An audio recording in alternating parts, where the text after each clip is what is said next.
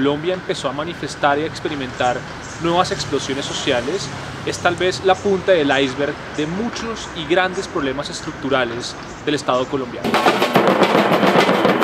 que no son solamente del siglo XXI, sino son una, herencia del siglo XIX y siglo XX.